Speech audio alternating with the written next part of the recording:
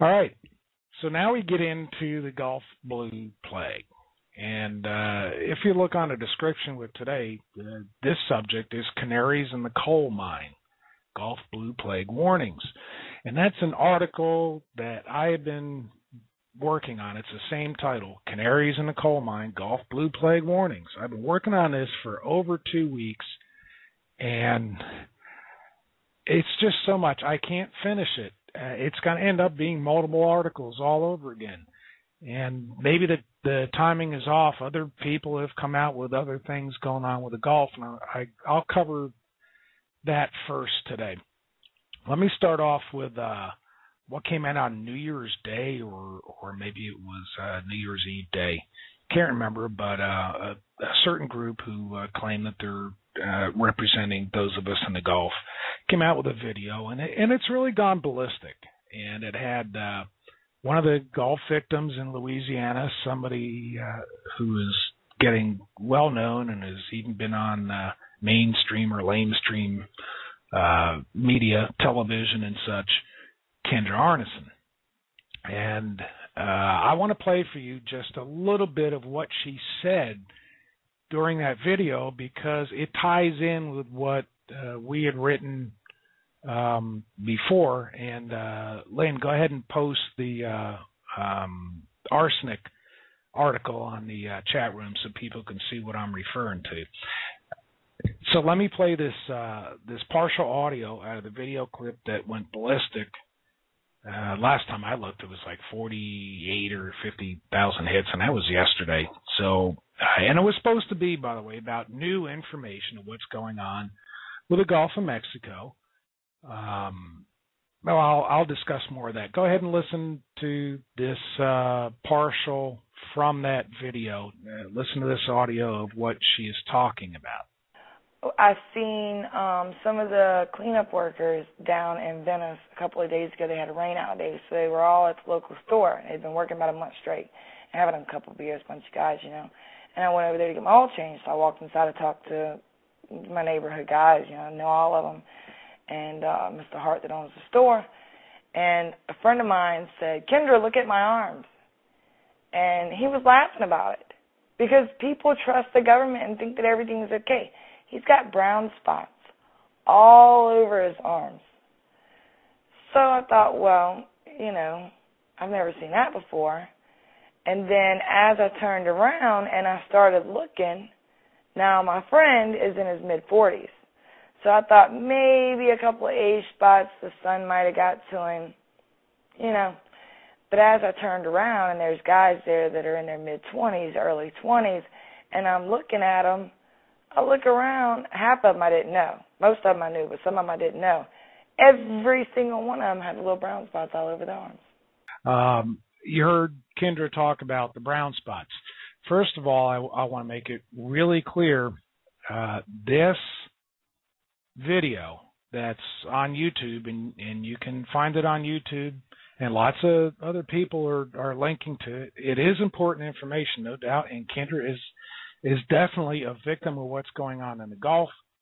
Um, but this was put out as new, basically new revelations of, of what's happening in the Gulf. Uh, it was either on New Year's Eve day or New Year's Day, the first of this year. Um, and I brought this point up not just to um, to talk about how those brown spots got there, but to let you know that this really isn't new information. This came from November. In fact, the video was made in November. At the same time that we had put out an article uh, talking about how these brown spots were showing up on everyone and what was causing it, and that's the most important. If you're on our uh, on our chat, uh, Lynn has put up the links not only for the YouTube video but also for the uh, the article. Uh, let me give you the name of the article. You can find it on blueplague.org. Gulf Blue Plague, a lethal dose of arsenic and lies. You can also find that in World Vision Portal. So either place you want to go. Within that article, let me go catch it really quick. Uh, shows what happens with arsenic poisoning. Now that was this article was uh, back in uh, October 10th, and I had uh, written it because we did a test uh, of um, um, yes, Lynn, you're right. I'm sorry. I'm reading things as I'm trying to talk. Yes, it, it did come out October 10th. uh, and then the video with uh, Kindra that you just heard part of the audio, that was uh, sometime in November. So, you know, I had written this uh, because of a test that I had done and sent to a lab outside of North America to get proper results with somebody I know that's uh, head of a um, um, large uh, university uh, science lab. So uh, we came up with 70, 731 parts per billion arsenic in the water. And this is uh, pretty much, um, you know, not too far from Tampa out in the Gulf of Mexico, which is much further southeast of where everything was going on at the time that's not really what I want to talk about. What I had written in the article was to show the effects of what happens with arsenic in drinking water, uh, whether uh, it's uh, exposure from uh, swimming in water that has a lot of arsenic in it. And by the way, arsenic is a chemical compound. That's a natural thing. The earth has it all the time. Uh, that's why our drinking water is contaminated. Nobody's dumping barrels of, of, arsenic in there. It's something that comes out of the earth that's uh, normal. So, you know, let me read some of the things that came out of that that article so that you can understand what Kindra was talking about. Now, she, I don't know if she knows what it came from. Uh, as I said, I wrote this October 10th, and November is when the video was made that you just heard her audio part from. It, you know, and this just now came out on the first of January of this year. So, you know, there's a time delay in here. And I, you know, I really wish that people had read what I wrote. But um, okay, I, I'm gonna re-expose it again so that everybody understands. Now, arsenic has certain effects uh, besides being obviously very toxic, uh, 0.16 parts per million of arsenic is found in Corexit, the dispersant they're using in the Gulf of Mexico. Perhaps that's a source of the arsenic that we had found in the Gulf of Mexico. Perhaps. Uh, arsenic had been dumped into the Gulf of Mexico uh, like about 20,000 tons of lewisite, they call it, the dew of death, which is basically made from acetylene and, and an arsenic compound.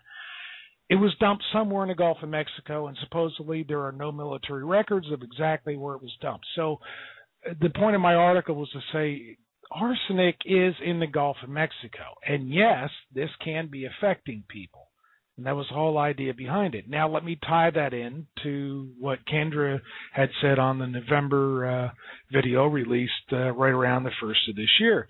She was talking about brown spots on those who were part of the cleanup crews.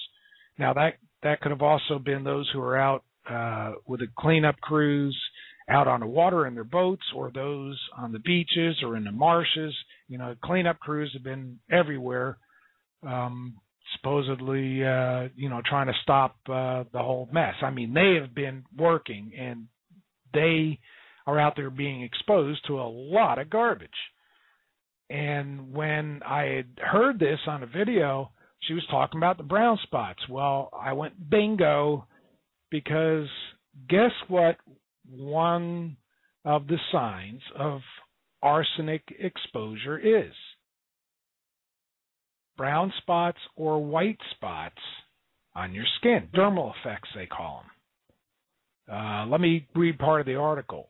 Symptoms of arsenic poisoning begin with headaches, confusion, and drowsiness. These are the same initial symptoms for those of us who experienced the Gulf Blue Plague or, or Gulf Blue flu since early August. Because arsenic targets widely dispersed enzyme reactions, it affects nearly all organ systems. The most sensitive physical symptom due to arsenic exposure is dermal or skin effects. Skin lesions are common effects of heavy chronic exposure to arsenic.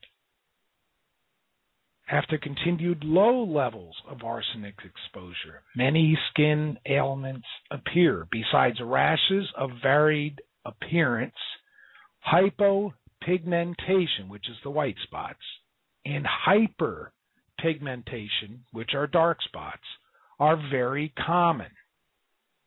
And then uh, some of the research I found out says after 10 years, skin cancers appear. After 20, 30 years, internal cancers appear as a direct result of arsenic exposure. And again, that can come in drinking water because it is in the earth, it is in the oceans, though we probably have an extra source with the oil dispersants that they were using, uh, 0.16 officially anyway, they say is 0.16 parts per million of arsenic and Corexit 9,500.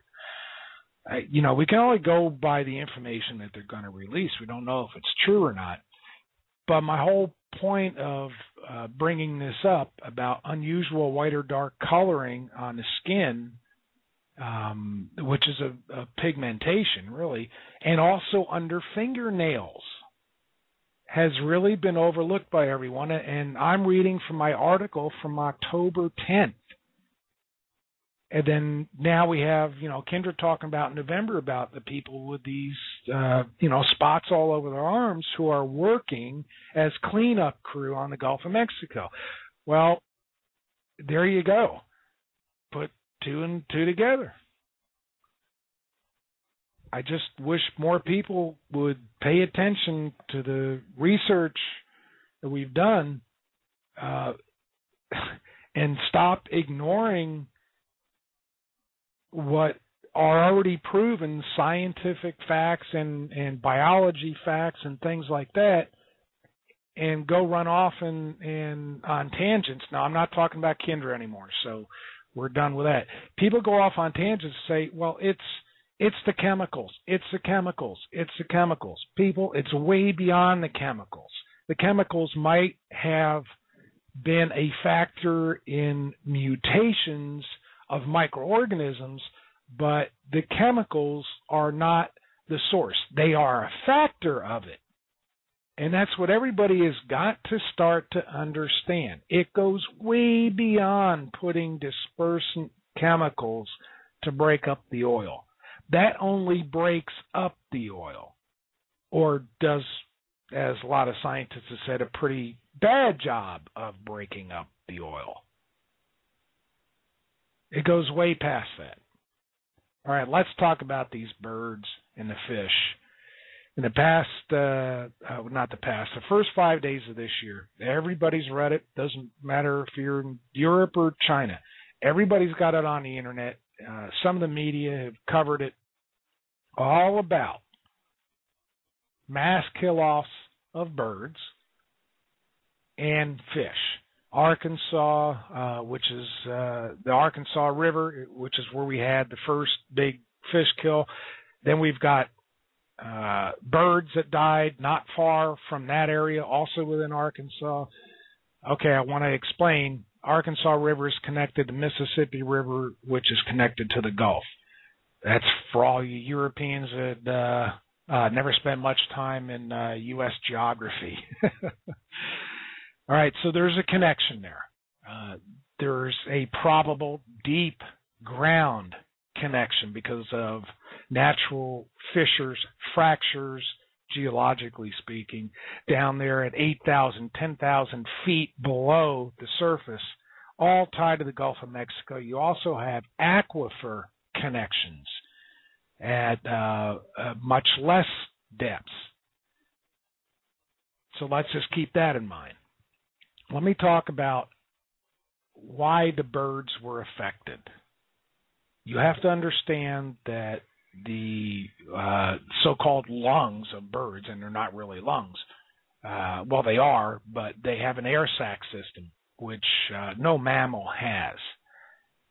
Basically, birds are super susceptible to anything that's in the air. And I mean anything. Uh, let me read a little bit of the background about how birds work. As air flows through the air sac system and lungs, there's no mixing of oxygen rich air and oxygen poor air. Uh, for example, uh, you and I, the way we breathe, uh, there's a mixture. We have uh, carbon dioxide as well as the oxygen. We, you know, when we breathe in, uh, and then we breathe out, we've got a mixture. Birds are different. Right? Birds are so totally different. They have a total different system. And here's something that was really weird that I found out. The uh, uh, lung system, so to speak, of dinosaurs very close to birds. So what they say is that the partial pressure of oxygen in a bird's lungs is the same as the environment around them. In other words, there is no pressure difference. So birds, because of that, have a more efficient gas exchange of both uh, uh, oxygen and carbon dioxide. Much more, super more efficient than mammals or human beings. Air passes through the bird's lungs in both when they exhale and when they inhale. And then they have these air sacs that function as a reservoir for basically their next breath air. So they're quite different and very, very, very sensitive to what is in the air. So that's the first clue. Know, why would the birds fall out of the sky so quick? Well, I, I uh, I've got some birds here and it's basically their their system is sensitive. If you turn around and and I've you know spoken with people that have done this, people turn around and and spray um, a very generic uh, uh, bug poison around their house to get rid of you know ants and bugs from coming in the the kitchen and such, and the bird who's in the next room falls off the perch dead. It really does happen because they are so sensitive by their biology design of their lungs and such that it almost instantly hits them when they run into a poisonous gas or a virus. Of course, you've heard of bird flu and things like that. It affects them very fast. Now, birds, most of them have nine air sacs, and this is why it affects them so fast. Uh, you know, it, it's amazing. It, they don't breathe like you and I breathe. So do a little research on there. I don't want to get into everything about it, but I'm just trying to bring out the points that this biologically is why birds are so susceptible to gas or viruses or bacteria that are airborne. And it, it's not just because of their lung system, it's how the rest of their uh, body and their entire biological system, including their major organs, reacts so quickly because of the way that they uh, uh, have oxygen come into their system, their lung system. I'm simplifying it. It's just let's just call it their lung system. It's so much more than that. So they have these air sacs on top of it, and they're really very thin walls in their air sacs. And by the way, their air sacs are not like you and I with just our lungs. They basically have lungs, but they also have air sacs, and they don't breathe in. Basically, a bird uh, is in a constant exhale uh, system. It's a lot different than us. But these air sacs are very important because that's part of the equalization of the air pressure that I, I talked about at first.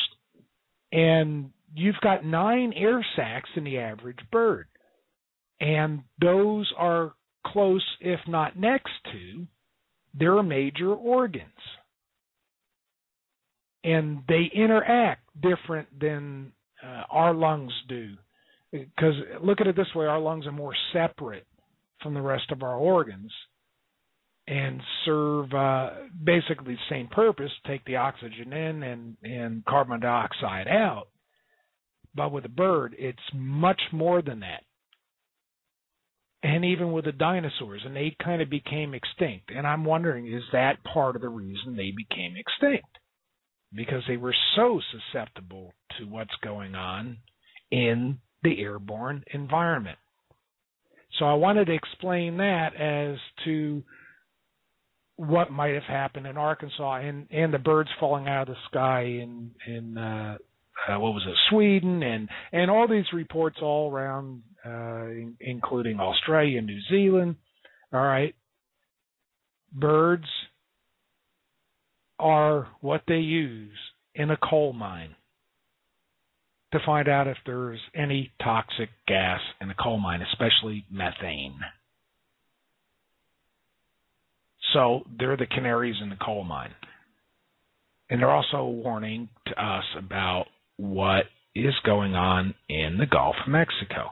Now, did these birds in Arkansas and around the world uh, all at the same time fly into uh, something like a methane uh, gas bubble? Doubtful. And here's why it's doubtful.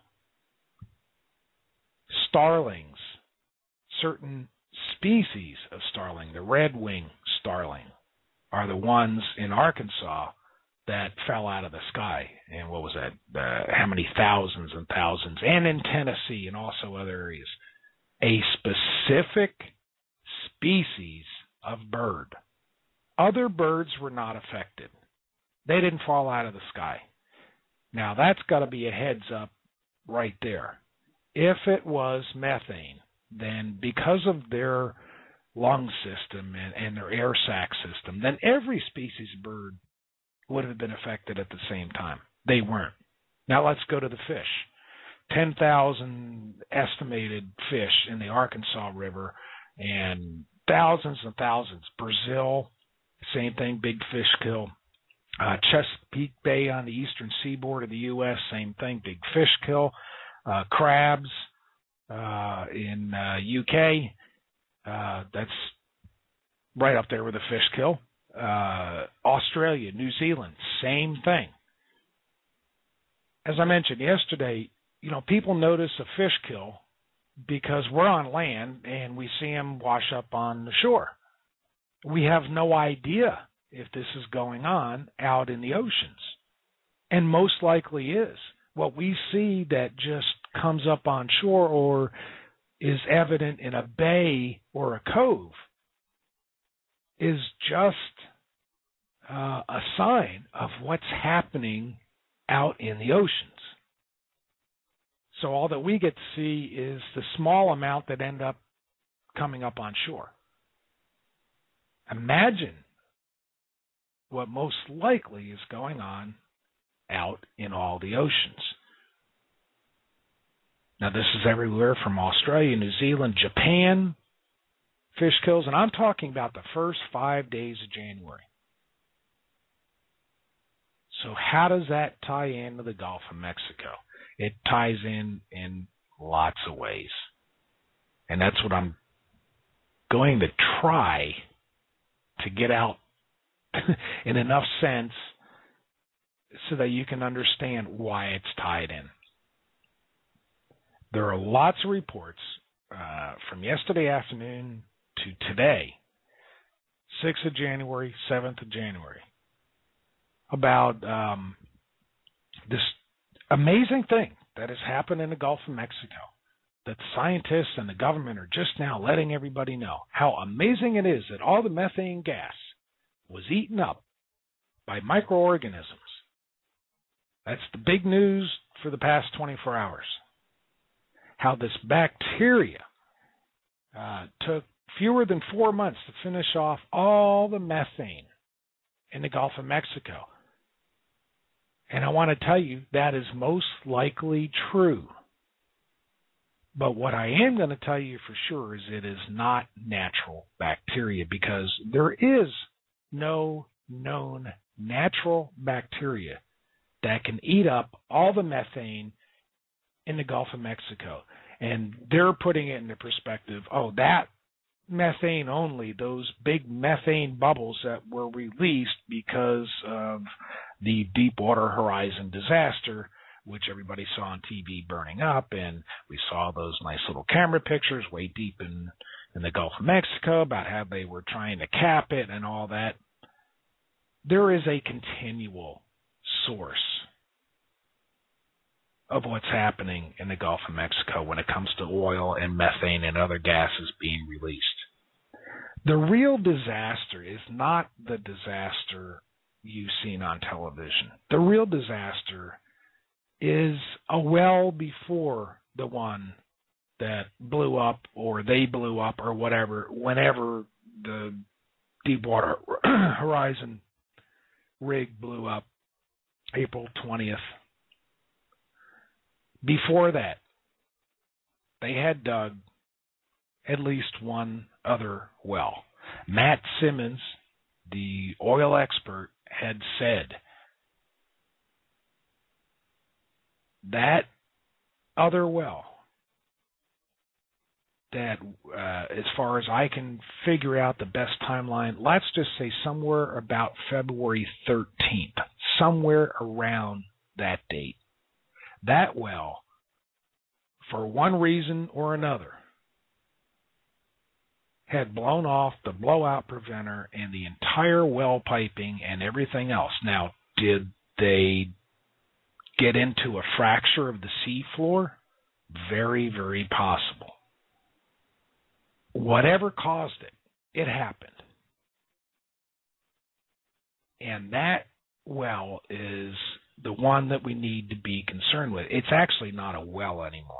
It's basically an open hole into the floor of the Gulf of Mexico, whether it is a fracture or started out as a well and they hit a fracture and the darn thing split wide open.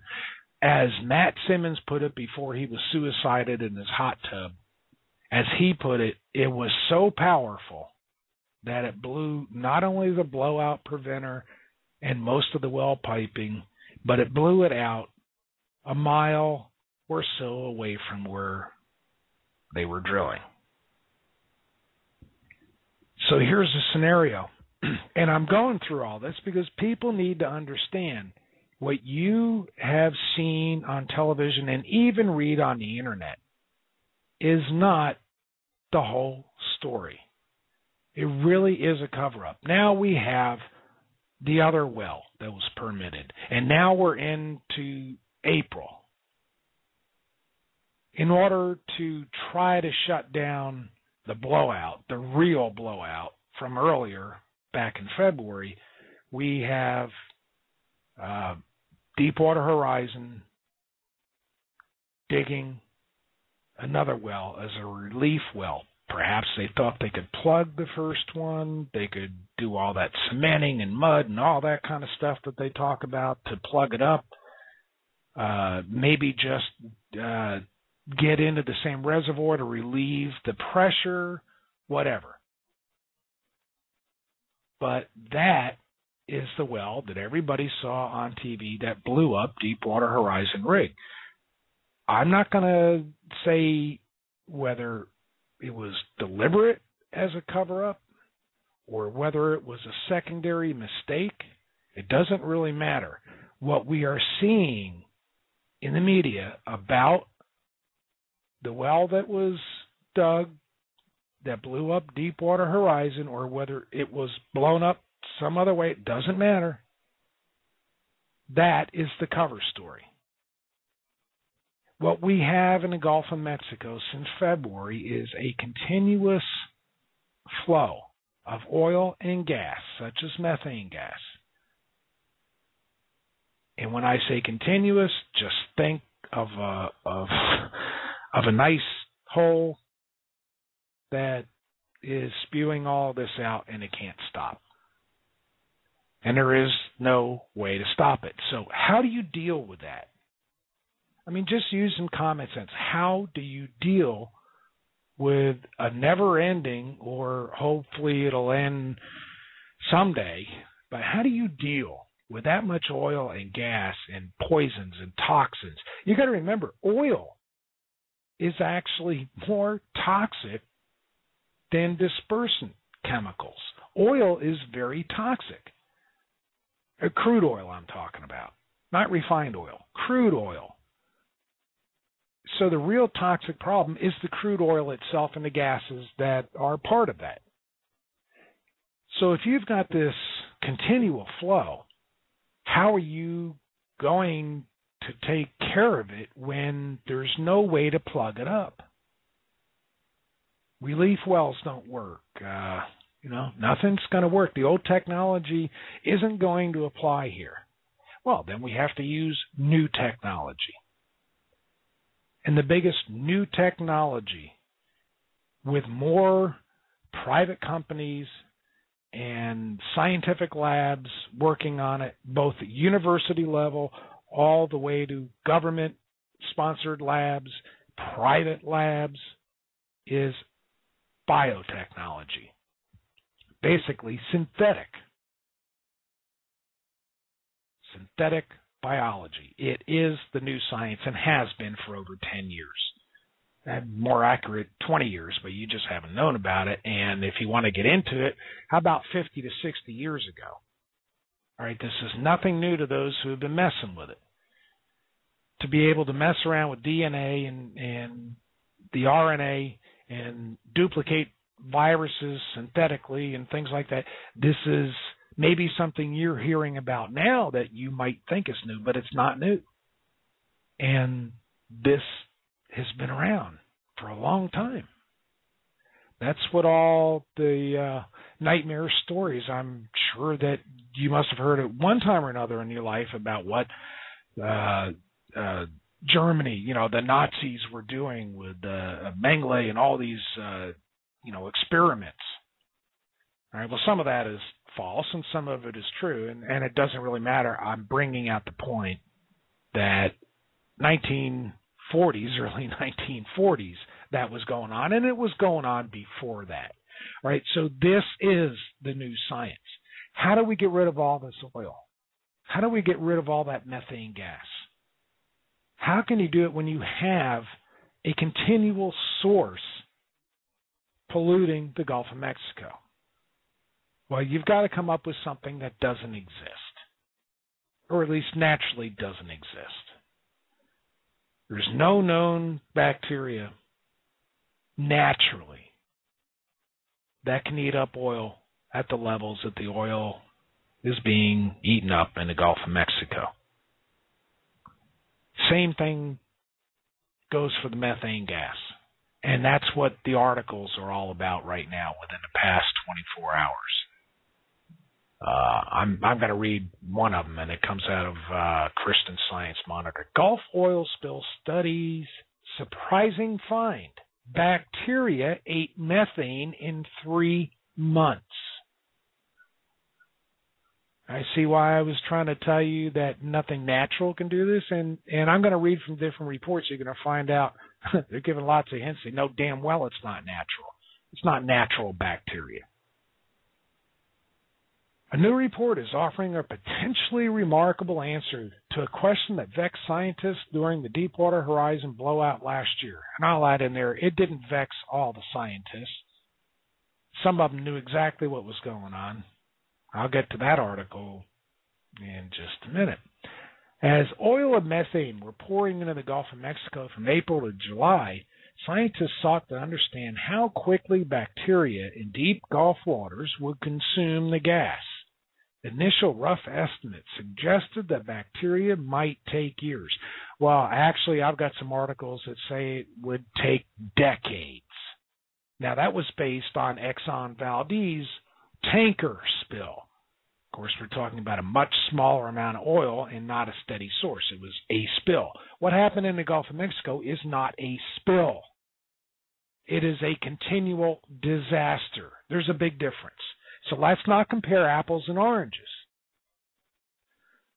Article goes on to say, moreover, uh, Moreover, because the bacteria use oxygen dissolved in seawater as they eat, there were questions about how that bacterial banquet might draw down oxygen levels. Well, I can tell you how that happened. Let me let me just continue with some more quotes.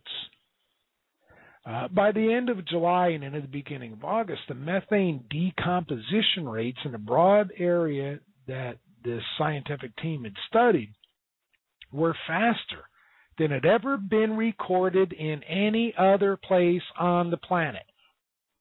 Well, there's a clue. How could that happen?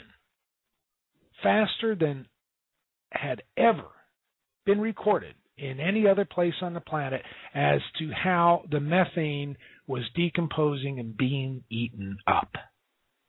Other researchers working on the same issue are cautious about these supposed results, suggesting the team may be overinterpreting its data. Well, I'm going to tell you they're not, just in the same way they're not telling you why it happened that fast.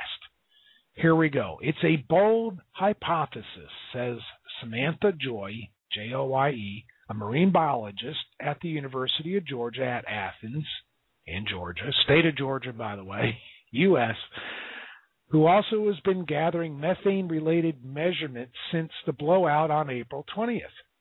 But, quote, there are other alter- alternate hypotheses that could just as easily explain, end quote, the data. All right, so let's move on with the article. Quoting Dr. Joye again, she says she remains unconvinced of their findings. And here's one of the reasons. The area is not well stocked with trace elements the bacteria to eat up this methane need to survive. Among them, copper, which bacteria specifically use to deal with the methane. Shortages of copper as well as other trace elements likely would have slammed the brakes on the growth of the bacteria populations needed to get rid of the methane in fewer than four months. I can tell you how that happened. I've already told you how it happened on previous shows and on worldvisionportal.org and on blueplague.org. Tests in August of the rain that was landing in Louisiana and Florida and Alabama. Rain tests looking for elements showed copper, iron, manganese, nickel, aluminum at higher concentrations than could possibly have naturally come out of the Gulf of Mexico. So here we have where scientists are are saying, okay, we've got some kind of bacteria that's basically gobbling up the methane that's coming out of this nice big mess in the Gulf of Mexico. And scientists know darn well that with bacteria, you have to have certain elements for bacteria to survive to do their job. Now, apparently, with methane eating bacteria, at least of the natural kind, you have to have copper as well as other trace elements. And I'm quoting Dr. Joye. Well, look at my last article and the article before that where I was showing, besides where I, I documented about the elements in the rainwater coming off the Gulf of Mexico, how it was essential for bacteria to eat up the oil. Well, this is a little bit different. We're talking about how specifically copper is needed, according to this scientist, Dr. Joye, to eat up with the kind of natural bacteria that would eat methane or at least consume it one way or the other. And it's not just copper, it's other trace elements. Iron is needed for the kind of bacteria that eats up oil, hydrocarbons. So here's a big hint. she's skeptical about, and she's saying this in the article, very skeptical about their findings, saying, oh, nature just kicked in and nature is taking care of it all. Because uh, she says, look, without uh, extra copper and other trace elements in the water, that's not going to happen. Biologically, that won't happen to eat up oil at that kind of a, a rate, or I'm sorry, eat up methane gas because that's what this big announcement is about. Everybody's so proud that, whoa, nature took care of itself. It didn't. And I'll get into that. As uh, as the article says, and it was a quote, I'd be thrilled if I could sit here and tell you, yeah, the methane's all gone. Isn't that wonderful? And that's again quoting Dr. Joye but 500,000 tons of methane does not get microbially consumed in three months. Now, she was basing that on government figures that that's the amount of methane that was there. A continual source goes way beyond 500,000 tons of methane. That's why I say it's all the dog and pony show. Everything about uh, Deepwater Horizon rig blowing up and all that, that is what they want you to focus on, and all those nice little video camera pictures from those Deepwater uh, um, roving vehicles that they have.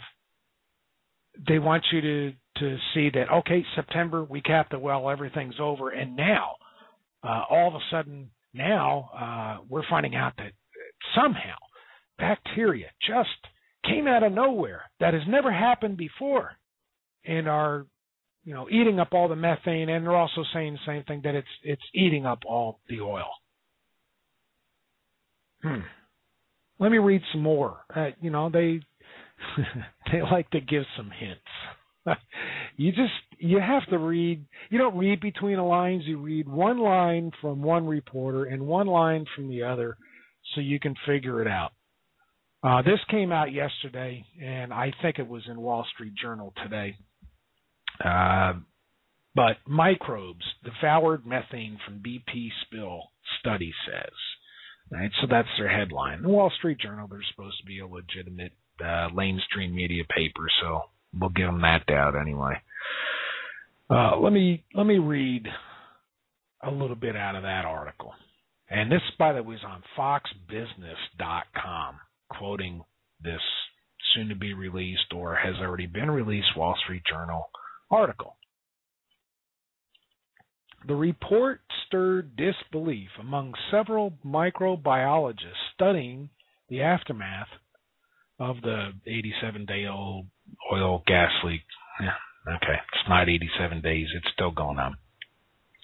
I think they're jumping to a conclusion, said University of Georgia microbiologist Samantha Joye. Okay, she's quoted in this one too uh, who has been analyzing methane from the damaged wellhead independently. In other words, she's not bought by BP.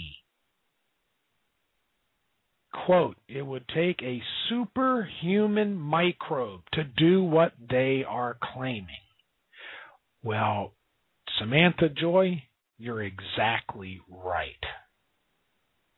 It is a superhuman microbe to do what they're claiming. It is not a natural microbe because, as Dr. Samantha Joye knows, that's why she's a microbiologist with the University of Georgia. She knows that there is no natural bacteria or microbe of any kind that could eat up just that amount of methane in that amount of time.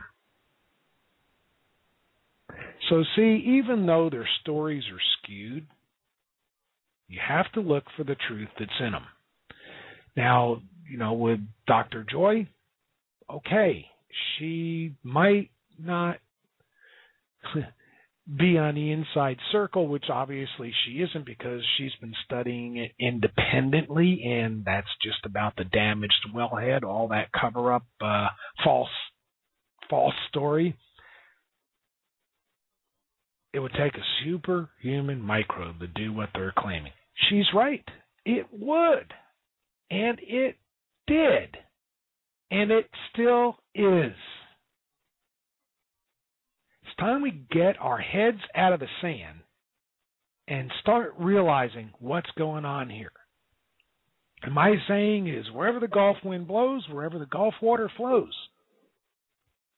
you're going to have effects of what's going on. And what we're talking about is not natural biology. We are talking about unnatural or synthetic biology being involved. And I've got some fantastic quotes to back that up. If I can keep my voice. um, make sure you keep checking with the chat on Blog Talk Radio because uh, uh, I just took a peek. Uh, Lynn is keeping us up on that with links and such. Okay, let me get into another one. Oh, in fact, I already did that one. All right. Well, I need a break because I really am starting to lose my voice and um, I get excited. What can I tell you? I uh, I just have a goal to put things together for people and get truth. And by the way, as I said, we we've all, almost finished the first hour and I haven't even covered a tenth of what I want to cover. But I do want to open it up for uh, uh, call-ins, or if you're on Blog Talk Radio at slash WVP and you got a question, put it in the chat room. If you call up and uh, just want to tell Lynn that you got a question or um, whatever, just um, I want to open it up because people have got a lot of questions of what's going on and what to expect. And the only way that uh, that I can help get more and more information is for people to ask. I spent my entire holiday season, thanks to lots of volunteers here at the Animal Sanctuary, I had time to do some even more in-depth research and talk with a lot of people, uh, scientists and biologists and virologists and I've got a lot more information. It's so much. Again, I'm having trouble trying to get articles out about it because I insist that everything has its references.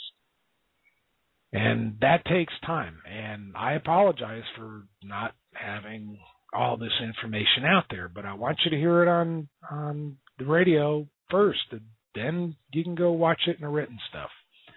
But anyway, just give me a break here. Uh, part of my detox living along the Gulf is I take Cellfood, and I haven't had my afternoon Cellfood, and that's uh, that helps with oxygenation and such. And uh, uh, also, I take uh, by the same uh, people who are making the Cellfood, I take uh, DNA and RNA repair, and believe me, it makes such a difference uh, after after six hours when I don't have this stuff helping me, uh, all sorts of symptoms start coming back. And we, by the way, for the past few uh, two days anyway, I've had a nice wester westerly wind off of the Gulf of Mexico and uh, uh, lots of humidity, and lots of people aren't feeling good right now. Uh, the stuff that I take uh, just helps amazingly. Anyway, let me uh, let me just run something here for a minute and let me go uh, get my uh, water and get uh, my afternoon dose, actually evening dose of uh, Cellfood to uh, help me along here. Uh, there's a. Uh, I'm trying to find it, Lynn. I know you just put it up on there. uh, okay, this is kind of uh, this is kind of a weird song. In fact, uh, Lynn, uh, this is a short song, and I need more than this song. So, uh, Lynn, go ahead and put on after this is over. Put on one of the other songs. But this is something I don't think we've ever played on here, and it's from Axe Masters, and he called it the Blue Flu, uh, Gulf Flu Blues, or the BP Flu Blues, or something like that. Uh, he says it in the song. It's kind of kind of different, but uh, I think y'all get the idea. And if I'm not back in time, Lynn, throw on uh, one more song.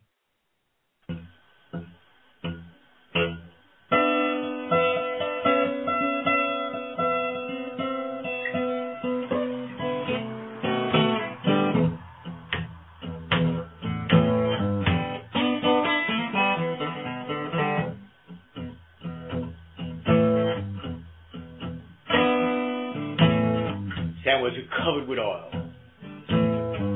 Opportunity was knocking on my door. So I went down to make me some paper down at that seashore. They said, go pick up that shovel, go lay some boo. I spent lonely nights missing my family, holed up in a little motel room. But when I got home, there was nothing I could hardly do. All dizzy, can't hardly breathe. God, Lord, I got the flu, I got the flu, flu, flu. Don't know what to do.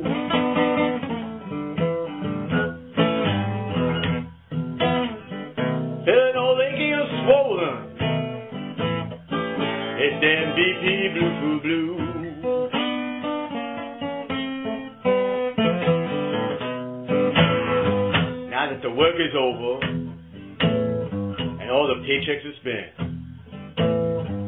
I'd do anything to feel a little better. I feel like I'm not worth two cents. When I saw the beach, it was a horror.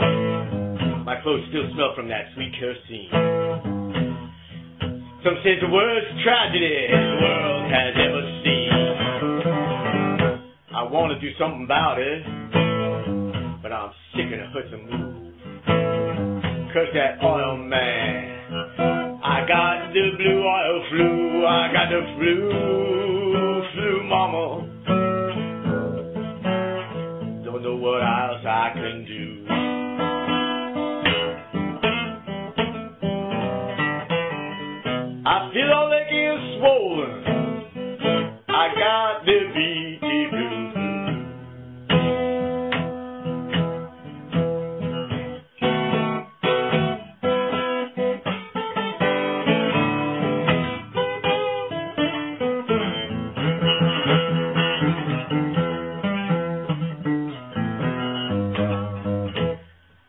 They said his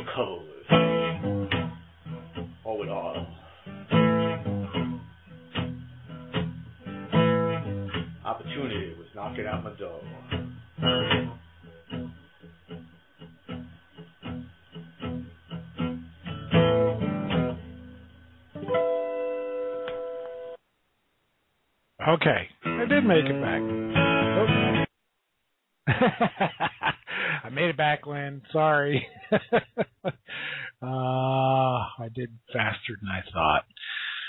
Anyway, um, yeah, isn't that an interesting song? We had uh, picked up on that, seen it on YouTube, and asked uh, Axe Masterson if we could use that, and that's uh, that's some real heavy, deep Southern American blue style, but all about uh, the Blue Flu Blues, the BP Blue Flu Blues.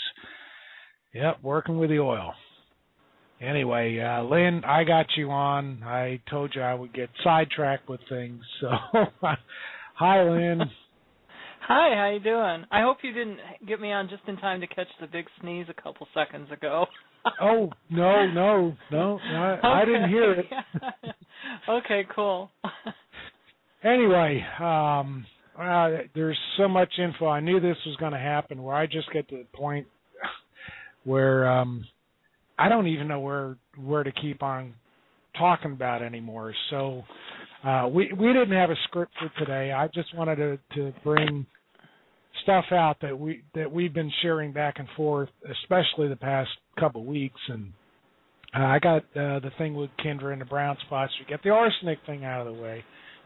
Mm-hmm. Uh, oh, you know what it is that I need to talk about, and and I want you to chime in and prompt me because you you know some of the same information. And I'm not running a script. I I don't run a script for a reason because if uh, uh, if spirit tells me that I need to keep on with something and explain it better, then I'll do it. So uh, we're not following a script for a reason. Anyway, I, I've got a quote.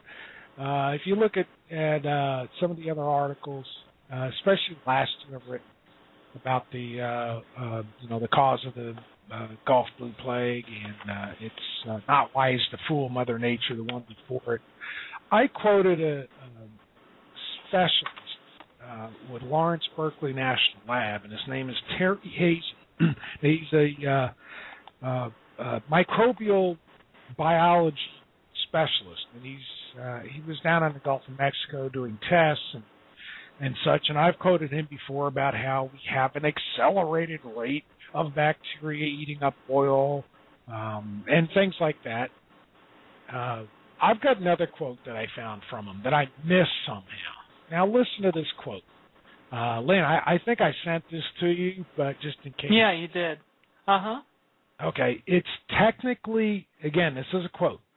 It's technically possible that we could introduce a genetic material into indigenous bugs via a bacteriophage, a virus that infects bacteria, to give local microbes DNA that would allow them to break down oil. I I, I got to repeat that because you people got to listen to what this man said. It's technically possible that we could introduce a genetic material into indigenous bugs via a bacteriophage. Let me explain what he means by that in layman's terms. He's talking about changing, uh, introducing, or changing through introduction genetic material. Now, what's that? That's genome. That's DNA, RNA.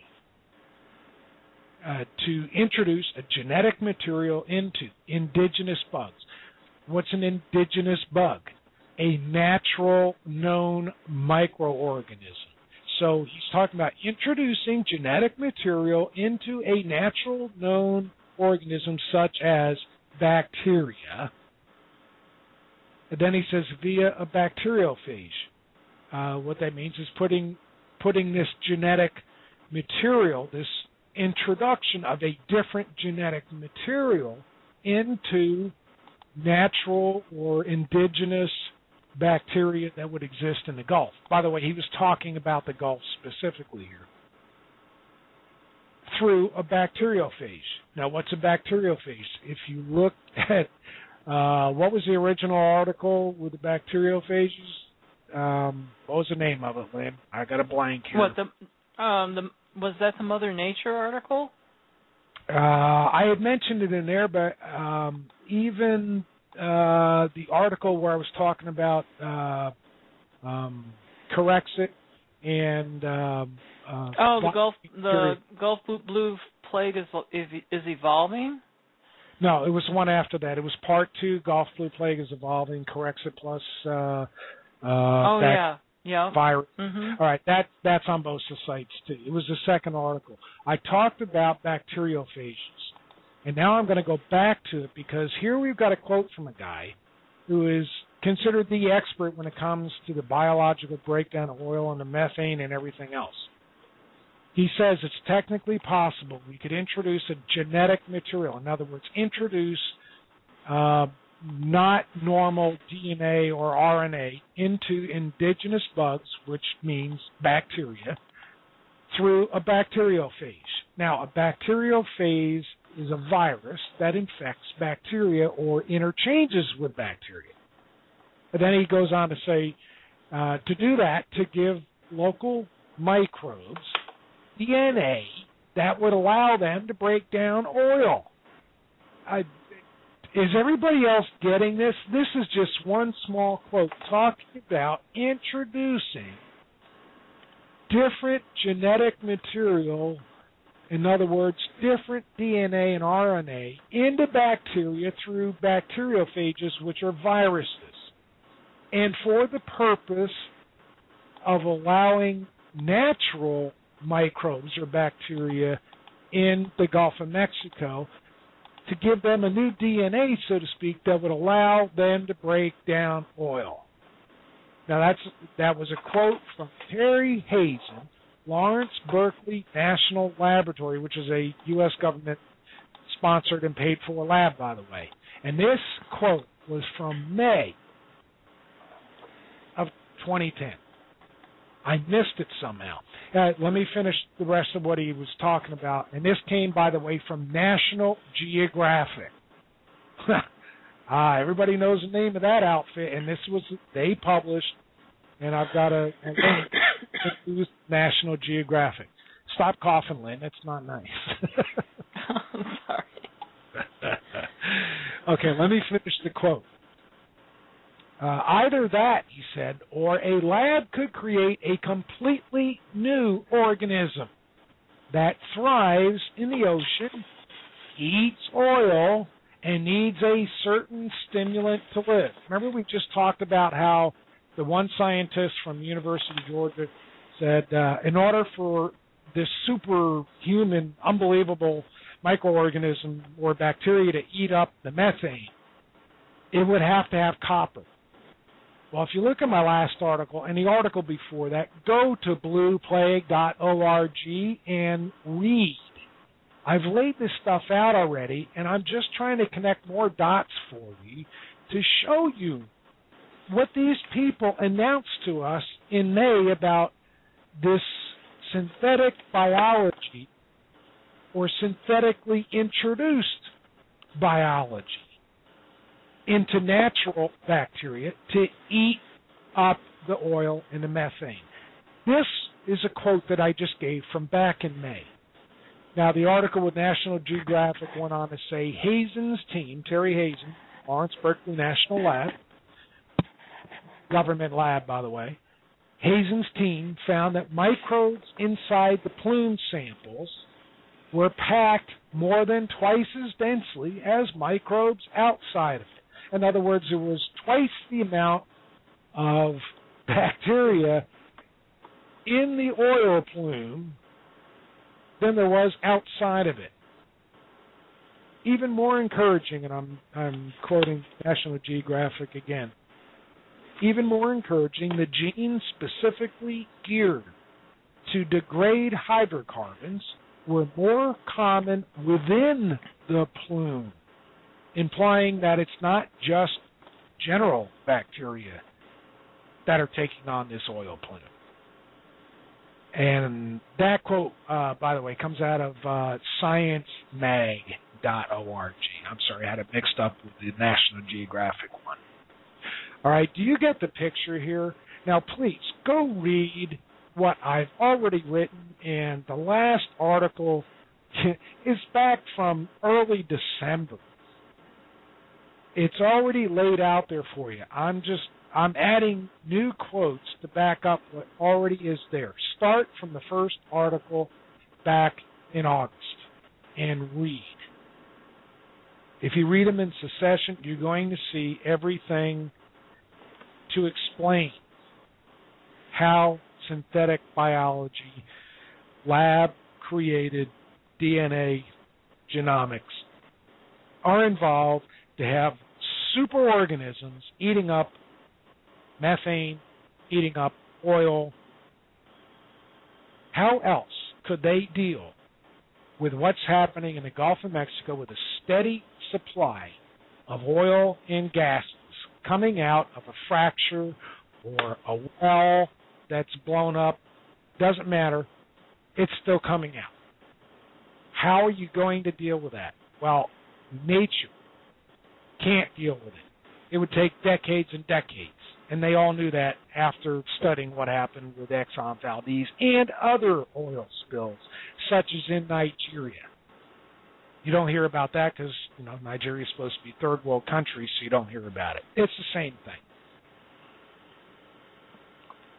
Now, let me explain bacteriophages. Just a little bit. And this is coming out of the Gulf Blue Plague is Evolving Part 2. Bacteriophages are viruses that change the DNA of bacteria. Many types of bacteriophages exist. And by the way, the most prevalent microorganism in the oceans are bacteriophages.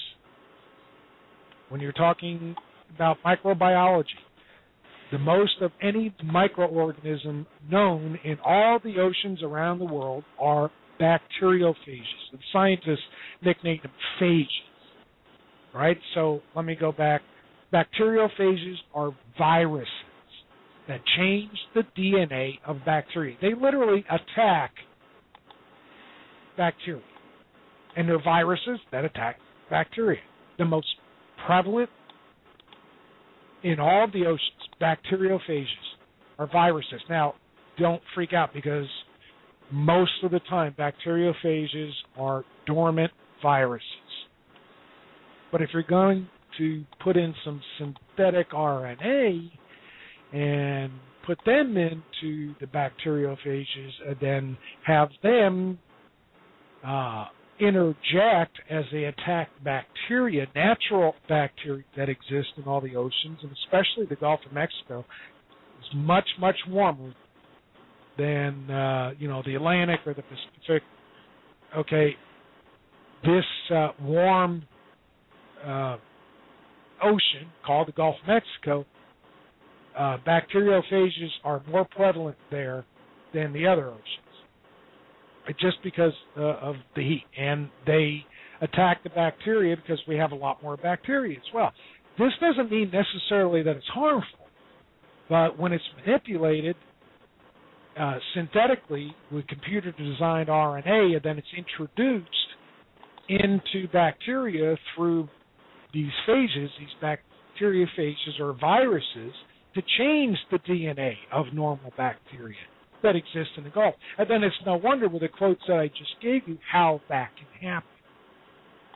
So many types of bacteriophages exist or phages exist. Some simply infect the host bacteria, while others insert into and alter the chromosomes of the bacteria that are there naturally. Some of the viruses donate their DNA materials to the host cell and cause alteration in the genetic code. Some bacteriophages can enter the host cell, but instead of immediately making new viral material, the bacteriophage's DNA and RNA integrate into the chromosome of the natural bacteria. So, how do you get rid of all the oil, people? You don't do it by the natural bacteria or by the natural genetics of bacteria that exist in the oceans. You have to introduce somehow a change to the genetics so that they will multiply and eat the oil and the methane gases and such at an accelerated rate, and that's quoting Terry Hazen again from at least two of the previous articles that I've written. Go read them. Blueplague.net. Blueplague.org. Read what I've got there. Go to worldvisionportal.org. Just read what's already there. There's no sense in me doing new articles to go over the same things. That's why I'm doing it on the radio, to just wake everybody up. All right, now let's talk about the bacteria. Again, this I've already written, but I want to go over it again. Bacteria are a large group of single cell microorganisms that grow to a fixed size and then reproduce through a form of what's called a sexual reproduction under optimal optimal conditions, of which the Gulf of Mexico is considered one of those areas with optimal conditions. Bacteria can grow and divide rapidly, and some bacterial populations can double double people as quickly as every 9.8 minutes. Now, I've got the references from what I was quoting in that article in the articles. Don't just read my articles, read the references, read the links, find my reference material, and go look for yourself. I'm just putting one and one together. Most bacteria have a single cellular or circular chromosome and inherit identical copies of their parents' genes. And what that means is they basically clone themselves. All bacteria can evolve through changes made to their genetic material DNA. And that can be caused by mutations. Now, if you have a virus such as a bacteriophage attacking a bacteria, that would be considered a mutation if the DNA of the bacteria was changed, either by the chromosomal change of the virus or bacteriophage or RNA, which is kind of RNA is kind of like the guidebook for what DNA becomes. But we're still all just talking about genetics. Mutations can come a couple ways. They can come from errors made during the replication of DNA or from exposure to mutating agents. And that could be chemicals or biological, such as bacteriophages or viruses. So mutations are changes in the DNA or RNA sequence of a virus. It can occur at both the gene level, called a gene mutation, and at a chromosome level, called chromosome mutation. This process is called mutagenesis. The result is a mutated virus that quickly duplicates itself, develops into maturity, and then discharges its, itself into the environment. A water environment discharge will become airborne due to high temperatures or as a result of storms. Now, let's back up to the beginning of this show. We were talking about the birds and the fish. It only affected specific species. Not all the birds fell out of the sky. Only specific species of birds.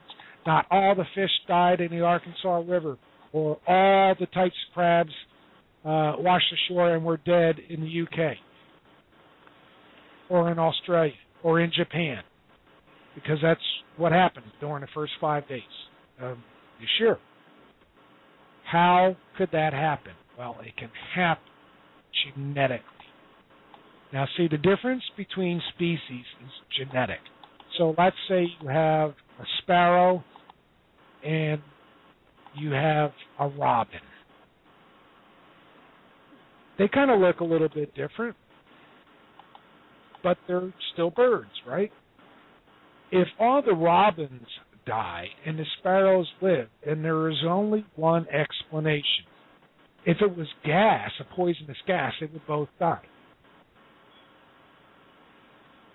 If only one of the species of the same family dies, then it has to be genetic. So, what happens in the Gulf of Mexico? We've got these synthetically altered bacteria eating gas and oil. And what happens after they eat it? What happens when these things die? What happens if uh, they don't have enough oil in that area and their job is done? Well, then we're talking about microorganisms. They dissipate up in the air. And what happens when it gets in the air? Or what happens when the water currents bring it out into other areas? Well, these synthetic altered genes within bacteria and the bacteriophages, which are even smaller than bacteria, get into circulation through air and get into circulation through water, what will they do? Well, science tells you exactly what they'll do. They will interact with known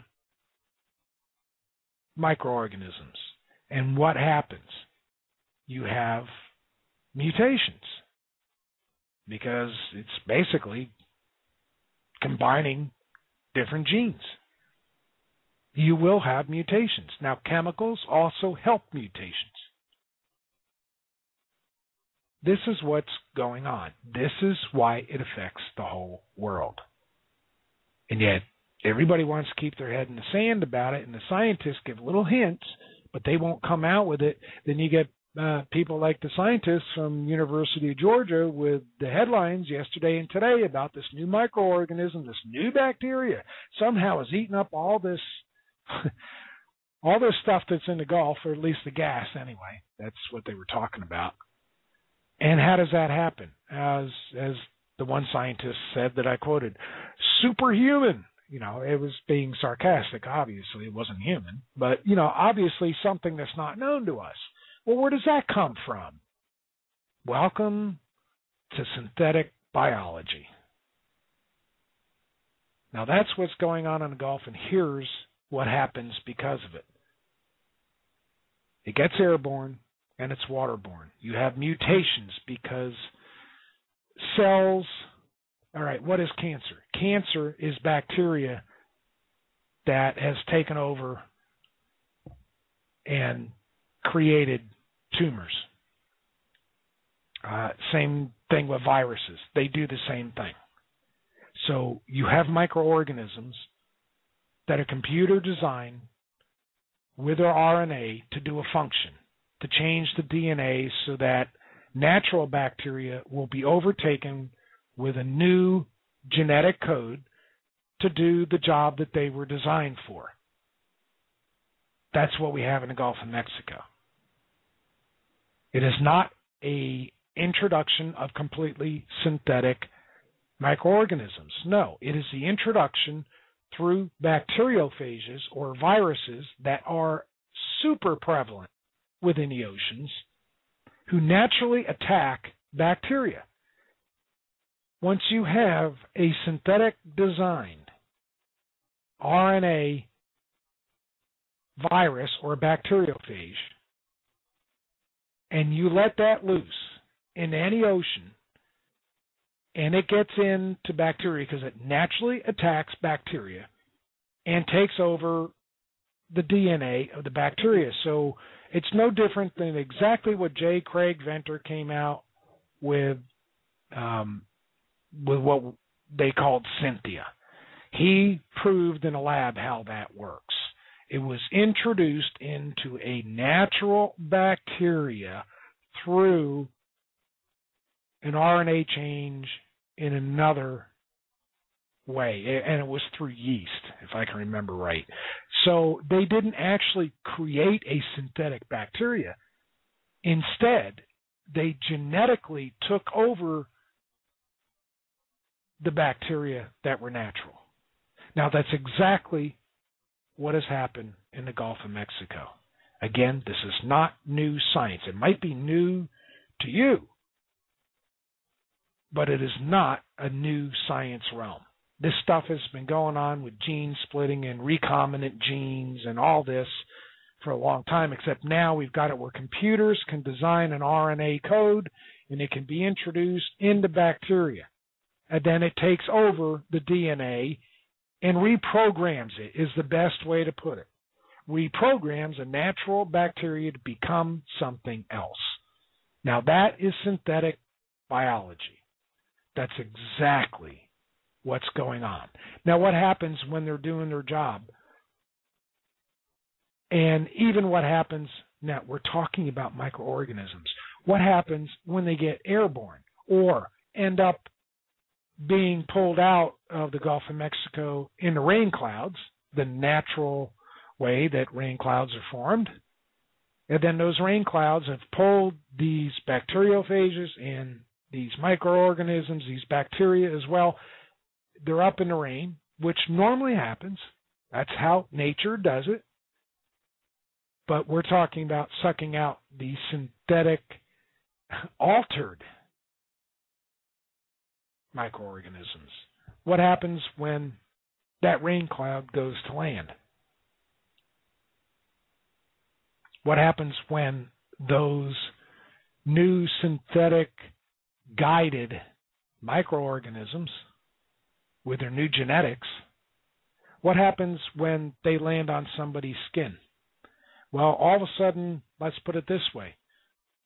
One of the things that's hitting all the people in the Gulf of Mexico, not everybody, but enough, is new types of flesh eating bacteria. New species of it, so to speak never seen before. And nobody knows how to stop it. How can that come about? I just explained the whole scenario, exactly how it came about. What happens when natural bacterium on land and in the air, because we have bacteria in the air as well, what happens when all these synthetic coated microorganisms attack or mutate or join with other natural microorganisms on land and in the air. What will happen? New flesh eating bacteria just might be one of them. New lesions that nobody can explain. And here's the thing that that that just gets me. They always blame it on Corexit. People, Corexit is only a factor in the equation. It is not the cause of what's going on biologically. It's only perhaps could be one of the factors of mutation. And as well, with some of the chemicals, break down the oil. But it is not the cause of what's going on biologically with everybody. Now, how do you explain the birds falling out of the air? Genetically, if you have mutations in a specific species is susceptible to a mutated certain type of mutated virus or bacteria in the air because their DNA is unique enough that when the two combine, the synthetic guided as well as the natural, they're going to fall out of the air. Same thing happens with fish. Again, only drumfish in the Arkansas River are the ones that died. The other fish were not affected. How does that happen? Only by specific biology. And that includes viral as well as bacterial. It's time to think, people. Time to use some common sense. I've got the references on the site. Start looking them up. Start reading. Start learning. Start being aware. This is what's coming down the road. The first effects happen to those of us in the Gulf of Mexico. The rest of the world perhaps is already getting it. I really question all the swine flu and bird flu as of late. Right now in the UK, we've we've got code red, code black in hospitals because their isolation units from uh, the flu, new species of the flu, cannot handle all the patients that they've got. Eh, they're at capacity already. Now that's in the UK. How could they get that in the UK? Easy. Guess where the jet stream has been blowing from for months and still is right now today. The upper atmosphere jet stream has been blowing across the Gulf of Mexico and heading towards Europe for months. Does that explain these new species and varieties of unknown flus? Well, I can't think of anything that could explain it better, can you? Because we're talking about messing with biology in the Gulf of Mexico. And wherever the wind's going to blow, aren't you going to get it too? What happens when that biology, that synthetic introduced biology and genetics, meets with natural biology in other countries that might not be found in the Gulf of Mexico? What happens when the two combine? Are we going to have some odd mutations? Are we going to have the Black Plague all over again? Well, that's why I call this the Blue Plague. It's not just the flu, people. And I've been saying this since July, and I've been writing about it since August, and we started with Blog Talk Radio in August. And I'm not, you know, trying to say, look, people, I've already told you all this, but I have and I've spelled it out for you. And it's up to you to go read what I've already written and listen to the broadcast I've already made about this. I've even shown you how to overcome the DNA changes. Well, I haven't shown you. I didn't write about that yet. Uh, but I did mention it on how to detox. Back in the early stages in, in August when I was having so many effects and that's where I talk about the Cellfood. And they also have uh, something they put out that's DNA and RNA repair. And you know what? It works. So I'm trying to forewarn everybody else outside the Gulf of Mexico. Look, this is coming your way if it's not there already. And scientifically, I've given you the facts to prove that and and even worse, we have so many unknown factors involved.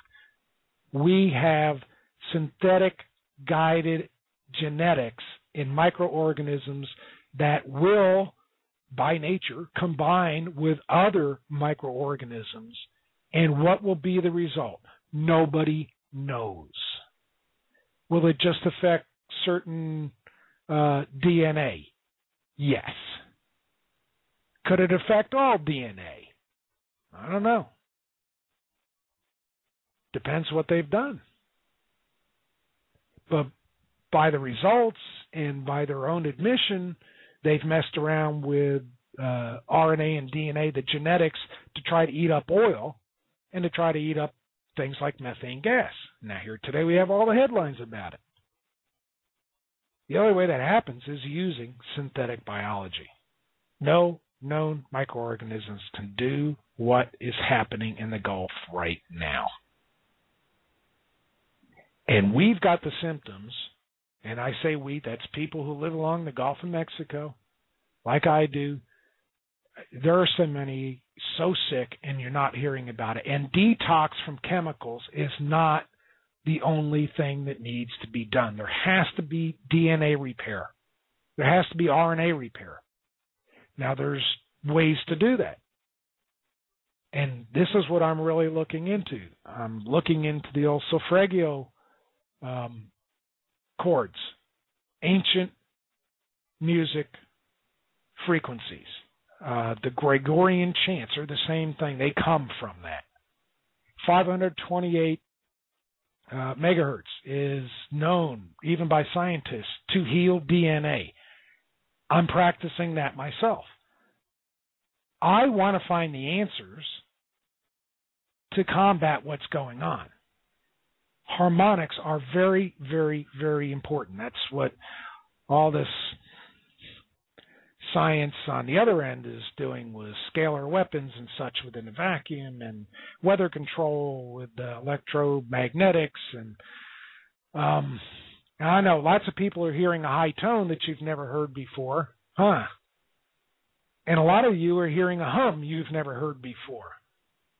Well, that is again part of the equation and I'm sure that has to do with manipulation of the synthetic guided microorganisms. And if I'm wrong, then fine. Somebody prove me wrong. You know, that would I would really love for somebody to prove me wrong about the the synthetic uh, genes in my microorganisms in the Gulf of Mexico. I would love for somebody to prove me wrong because then that means that everything that I'm finding out would be wrong and then I wouldn't have any worries, and neither would you. But I've already put the challenge out to scientists months ago. I've got it on YouTube. I put it on Blog Talk Radio. Please prove me wrong. Show me that synthetic genes have not been introduced to the Gulf of Mexico. And nobody has stepped forward to say I'm wrong. Now, wouldn't you say that's a pretty big challenge? I'm not a scientist. It should be really easy to prove me wrong, shouldn't it? If if you got a PhD, should be really easy to prove me wrong. I'm just a Joe Blow guy who has an animal sanctuary and does rehab on injured animals, and has some horses that are rescued. And I'm just the caretaker here, but I do everything natural, organic, and and study to find out the needs of animals that need to be naturally healed. I have a great track record, but I am not a scientist. I don't have a fancy degree. I don't have a PhD. I don't have a master's degree. I have a bachelor's degree, but that's all right. It's not in this field. Actually, it's a degree in divinity. And maybe that's what all the guiding comes from. Maybe maybe this everything that I'm finding out is because you know, maybe God's showing me the way. But I challenge everybody prove me wrong. If you can prove me wrong, then that means we don't have to go down that road. But the problem is, nobody has stepped forward to prove me wrong. While I'm at it, I want to get into other things that's happening around the Gulf of Mexico. I want to get into the groups who claim that they are helping the Gulf of Mexico, who are not out there to help victims and, and residents and people who live along the Gulf of Mexico. They're established for their own purposes, for their own agenda, and part of that is to victimize people along the Gulf of Mexico. So, you know, just because they put on there the name the Gulf something or whatever, check out exactly what they say and check out their agenda. Make sure they really are helping. Now, there are really outstanding, legitimate groups, especially some physician groups and such, who are trying really hard to help people along the Gulf of Mexico. But then there are those who, for their own reasons, have really nice internet forums and sites and such, and and uh, sorry, some of them are attorneys who are taking cases against BP. And what better way to advertise your services than have a forum on the internet about uh, all things happening with the Gulf. See, I, I just get a, a little tired of all the games and the different agendas. Nobody's paying me to go ahead and find out whatever I can, like I did about BP's connection with Synthetic Genomics Incorporated or with uh, J. Craig Venter at JCVI Institute nobody's paying me to find this out. I'm finding it out because I live here. This is my this is where my home is. And I'm not leaving. I'm staying here. This is these are my beaches. These are my neighbors' beaches. The Gulf of Mexico is ours. We've eaten the shrimp out of there. Now we can't eat anything. In fact, please don't eat anything out of the Gulf of Mexico. Please. No matter what group or especially government tells you it's okay, I'll guarantee you they are not serving Gulf shrimp at the White House, okay? We got some big, big, big problems, and it's not just staying here. I'm sending out a warning to everybody around the world. That's why Fridays at 4 Eastern Time in the Americas, I'm going to continue with these broadcasts in two hours. I have got a lot more information. But yeah, I'm standing on my soapbox right now because I'm trying to get across to everybody do not believe the lies you're being told, whether it's the government or BP or certain groups that have an agenda who say they're representing the Gulf when behind the scenes they're not. Right? So open your eyes and realize this is a worldwide problem. I have been saying that since August. I am so glad that Kindra said it on this November tape that they released on January 1st. That's not new revelation material. She had said it in November, but okay, the group that put it out, they're, you know, grandstanding, I guess. They want to say, oh, it's all new stuff. Uh, Kindra's a victim. I personally, I feel she's being victimized not only by what happened in the Gulf, but by those who are using her. And that's as far as I'll go with that. I'm not naming names. Go figure it out for yourself. That's part of the reason as why those groups with an agenda that is not to help people on the Gulf, but who claim they are, why they don't want anything to do with me and other people who are making an effort and coming up with results to let people know what's really going on. All right, let me mention John Hutchison and uh, Nancy Luzerne. They're still here in the Gulf and they're still doing their frequency tests and they have positive results. They've not only done it in the water, but because uh, of what they've done with water testing, uh, it has also affected people that have been around where they're doing their testing. Now, this is just using frequencies and harmonics. And one of them is the, what I mentioned before, the, the old ancient um, Solfeggio scale that is no longer used. Uh, modern music doesn't use that scale anymore. I believe, if, I can remember correctly, 528 megahertz is middle note C or what they call C5. Well, now I believe it's at 414 megahertz. So things are not, even with music, at, at the healing harmonics that they were before. And John Hutchison is proving this. And he's proving it where the water clears up when he's using the proper frequencies. And people around them keep coming to when they're doing the test because they say it makes them feel better. Well, apparently, uh, because we know that harmonics and frequencies uh, are are healers as as well as destroyers of DNA in all beings, animals, trees, everything. Apparently, what they're doing is healing. But yet they're shunned by all by all the uh, not all. Okay, I don't I don't want to say this wrong. By some of the more well-known groups that are supposed to be representing the Gulf, they refuse to represent me and some of the articles, especially the last two articles I've written, and they won't give the time of day to John Hutchison's results and his experiments. And you know what? Nobody is uh nobody's really paying John. They sleep in the truck most of the time. We're in their trailer with all the equipment. They're not sitting in a fancy motel. That's I just wanted to get all this out. It's been bugging me for a while and I just want people to know what's going on. Uh people are not just being victimized along the Gulf of Mexico, they're being exploited.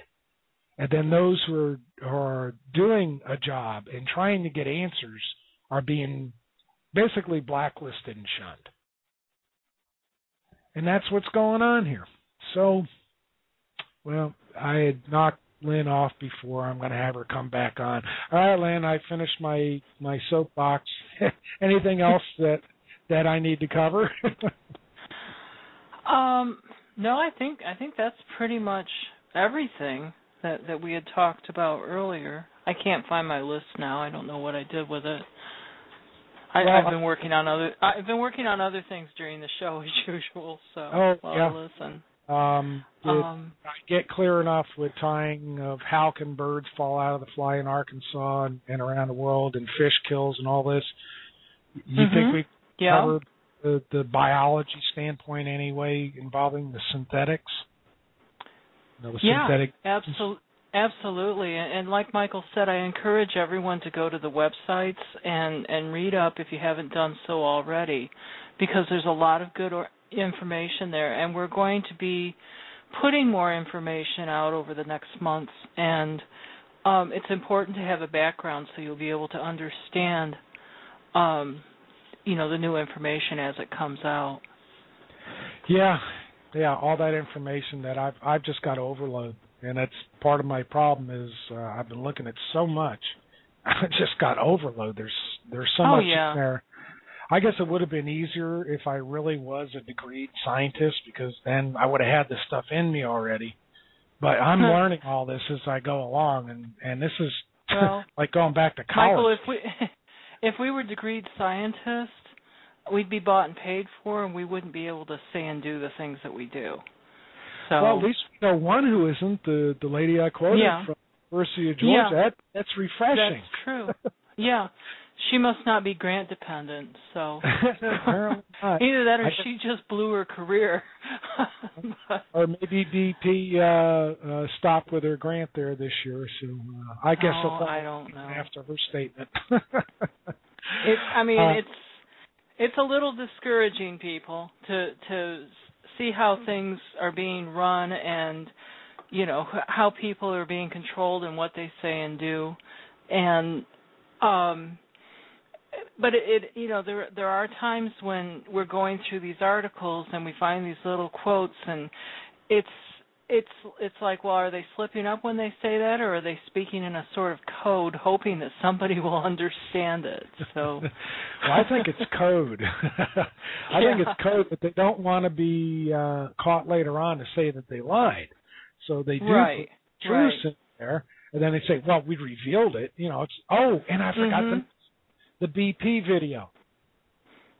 I forgot to mention oh that. that's right oh yeah Uh, you got to do that Yeah. oh uh, yeah Plague.org and worldvisionportal.org. Go ahead and look at blueplague.org.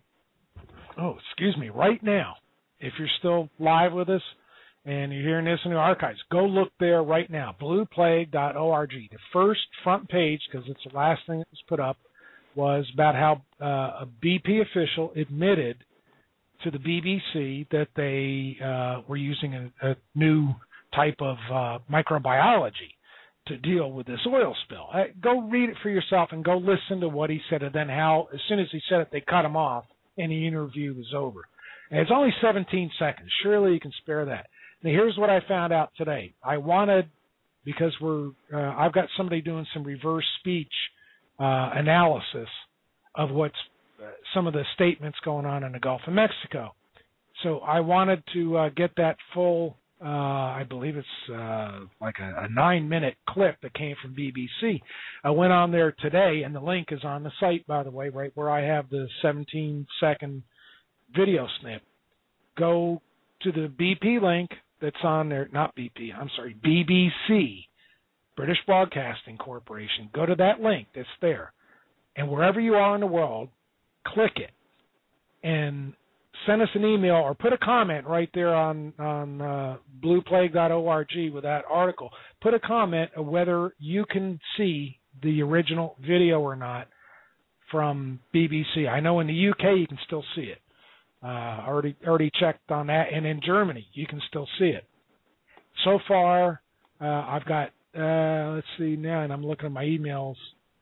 Looks like five of people around uh, North America. One one is Canadian that cannot see the original BBC clip uh, that they have published in the UK. So apparently they're blacking it out. Not they are. I'm sure they were told to black it out. Uh, BBC is government owned, so that that's not a far stretch.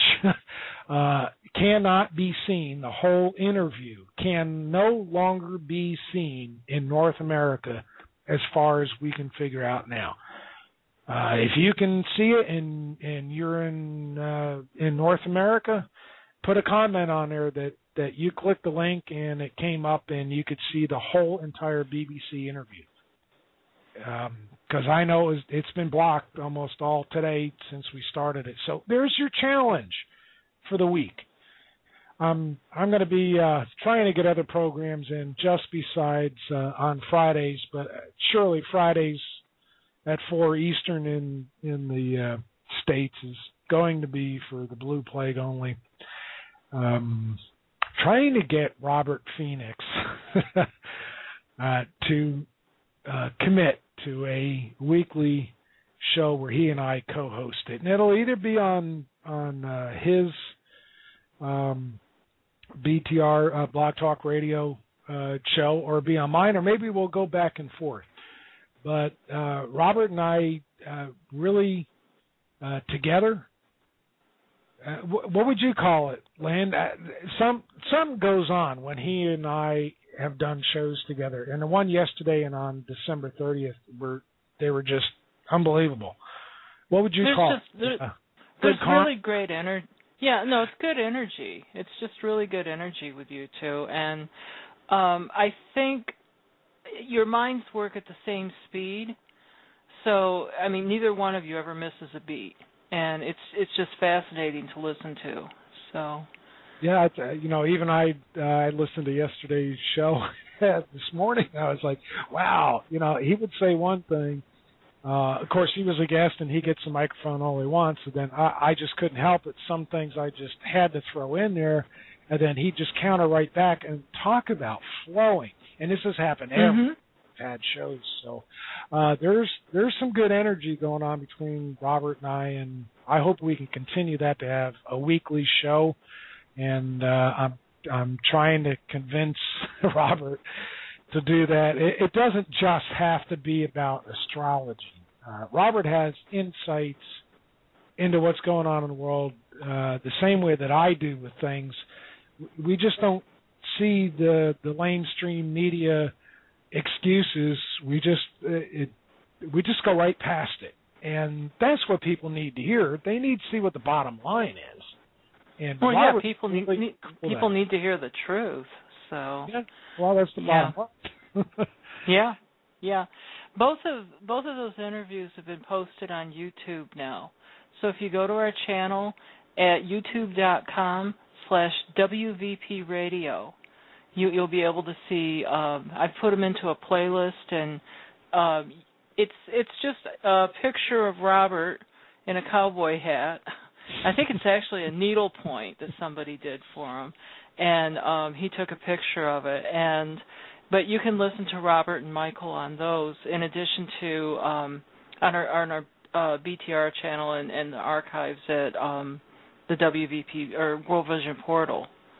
So Yeah, yeah, we've got it on blogtalkradio.com slash WVP. In fact, he's, uh, I believe you still have that as the featured from yesterday. Um, there's some good energy between Robert and I. So, um, uh, like I said, trying to encourage him to, uh, whether I'm on uh, his channel uh, one day a week, and then uh, the next week he's on mine or whatever. But we we get a lot covered, and that's what's really important. And uh, it's not the the typical talk show host. Uh, let's go read the headlines and see what's going on. He he and I just together. It seems like we we have some melded insights that just come out when we're talking together that neither one of us really come out with all that information alone. That's the best way I can describe it. But anyway, um, if you know Robert, uh, encourage him. If if you think he and I would make a good team, I would love to host, co-host with him. I don't want to be the host; I want to co-host because I I just think our energy is too fantastic not to do it. So, if you know Robert, um, I know a lot of you that that listen um, here uh, also uh, listen Robert every day.